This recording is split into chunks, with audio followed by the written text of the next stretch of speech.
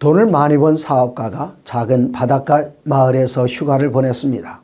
마을을 산책하다가 그물을 손질하고 있는 어부를 만났습니다.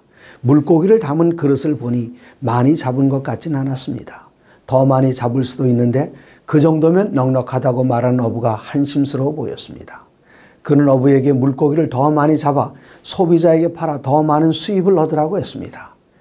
부자가 되면 뭘 하겠느냐는 어부에게 바닷가 근처에 집을 짓고 낮잠도 자면서 아내와 여유롭게 살겠다고 했습니다.